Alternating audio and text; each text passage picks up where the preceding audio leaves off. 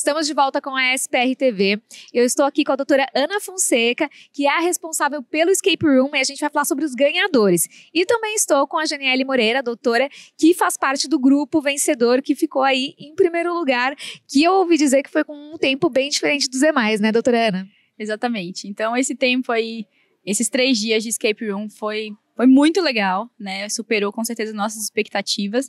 A gente estava esperando que o pessoal gostasse, mas tinha aquela ansiedade, ai, será que as pessoas vão achar inovador demais, diferente demais ali para uma jornada paulista de radiologia, mas no fundo foi muito bom. Assim, todo mundo, tanto os mais jovens quanto os mais experientes, aí encararam super bem. Muita gente jogando pela primeira vez um jogo de escape e demonstraram assim que gostaram bastante. Então a gente ficou super feliz. E além disso também não foi só uma experiência de diversão, né, mas teve também a parte educacional, com o Stage X incluído aí nesse processo, eu via. Então teve, eu acho que um ganho educacional com certeza também, né? E aí, é, dentre todos os grupos que tentaram, alguns poucos não saíram, infelizmente, mas a maioria saiu. E a maioria saiu com 20 minutos, 20 e poucos minutos. E esse grupo saiu com sete minutos. Então a gente achou assim, meu Deus, como que desvendou tão rápido, né? Ficou até assim, será que eles já jogavam escape, já eram meio rato de escape, assim?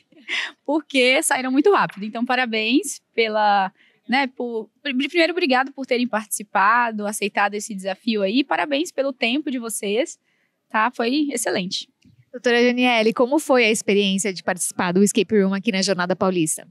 É, foi bem interessante, né, essa mescla de conhecimentos radiológicos com esse jogo, né, de escape room, que na verdade é um grande quebra-cabeça. E assim, a gente veio participar com espírito competitivo mesmo, mas foi surpreendente mesmo o nosso tempo. Em sete minutos a gente conseguiu resolver o mistério, que não era fácil.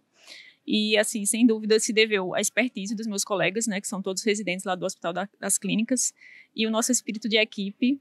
E, assim, é, foi uma experiência bem interessante. Queria falar também sobre o nome do nosso grupo, né, que é Keep Time, que na verdade é uma homenagem ao, ao nosso professor, o Toguerrini, lá do Hospital das Clínicas.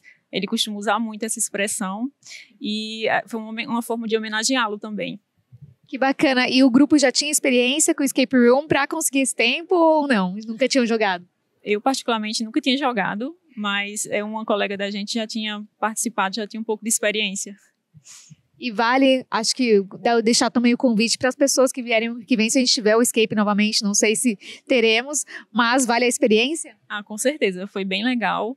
E assim, a gente ganha prêmios também, né? Então, próximo ano participem, vale muito a pena. E parabéns pela SPR por, por essa iniciativa, foi bem legal.